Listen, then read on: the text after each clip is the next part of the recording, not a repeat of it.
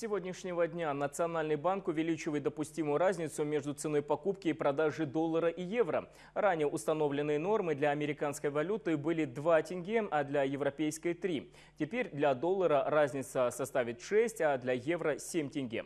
Чем объясняется действие регулятора, спросим у нашего экономического обозревателя Аерки Ермек. Добрый вечер, Аерки. Добрый вечер, Талгат. Председатель Национального банка Даниэр Акишев назвал это технической мерой, направленной на то, чтобы обменники не работали в убыток, а расширение коридора, как считает Акишев, не приведет к изменению курса.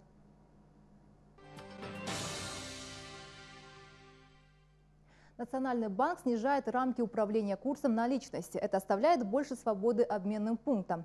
Нововведение позволит коммерческим банкам и обменникам получать большую маржу от купли-продажи. По мнению экономистов, это может увеличить конкуренцию между пунктами. Вместе с тем, главная цель регулятора – уменьшить экономическую выгоду от спекулятивных сделок с иностранными валютами. Маржа старая, вот 2-3 тенге, которая складывалась из-за разницы между покупкой и продажей доллара, конечно, она упала.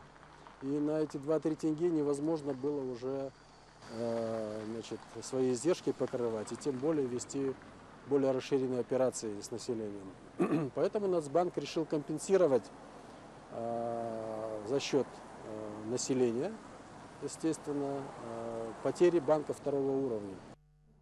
Сейчас обменники меняют курс по несколько раз в день. Больший разрыв между курсом позволит цифрам на табло держаться гораздо дольше. Правда, не все из них следуют новым установленным нормам. А курс тенге, между тем, продолжает укрепляться. К этому часу в обменниках одна условная единица стоит 356 тенге.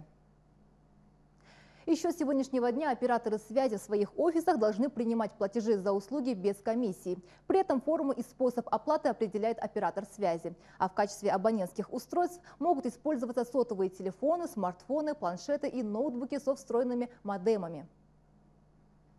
Наиболее дорогими рынками жилья в Казахстане стали Алма-Аты, Астана, Актау и Караганда. При этом по продаже жилья лидирует Алма-Аты, в то время как в Астане наиболее дорогая аренда.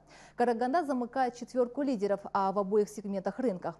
Для сравнения, Актау прочно удерживает третье место. Астана и Алма-Аты меняются первыми и вторыми местами лишь на субрынках продажи и аренды жилья. Об этом сообщают аналитики Казриэлт, передает Капитал Кизет.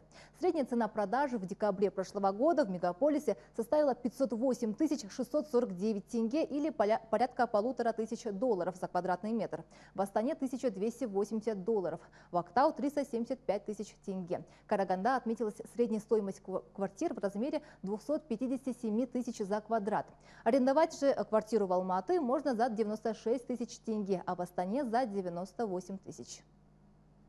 Акимат Алма-Аты подписал меморандум с международным секретариатом G-Global. Это дискуссионная площадка, созданная по инициативе президента. В документе определены три основные направления сотрудничества. Это зимние студенческие игры 2017 года, участие в инновационном форуме Алма-Аты Инвест-2016 и инновационном форуме по развитию зеленой экономики. Подписание соглашения откроет новые возможности по повышению индекса узнаваемости Алма-Аты, улучшению бизнес-климата и привлечению инвестиций. И на этом все. Таковы экономические новости дня. Благодарю. Мне остается только добавить, что с экономическим обзором дня была моя коллега Айерке Ермек.